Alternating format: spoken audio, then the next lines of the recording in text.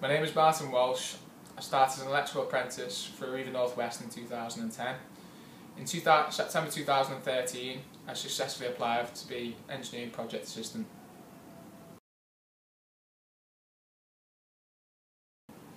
Well, when I was in sixth form, I realised that university wasn't right for me at this time, so I decided to look down the apprenticeship route. So I did this by looking at the government uh, apprenticeship website and then I looked at different companies' websites as well when I came across Arriva. And further, further information with Arriva, I decided to apply for this position.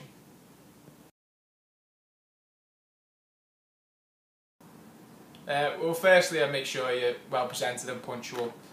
Also, I'd make sure you do background research about the company as well, uh, with any questions that popped up on the interview. And finally, be yourself and show an interest in the organisation.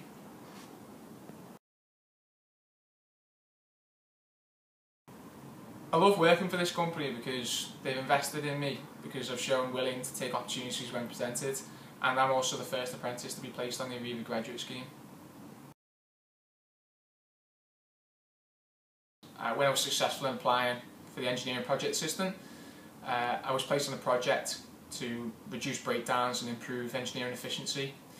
In doing this, I've travelled all over the country to different depots, and I've also sat in on uh, senior management meetings uh, I also had the privilege of meeting uh, Deputy Prime Minister Nick Clegg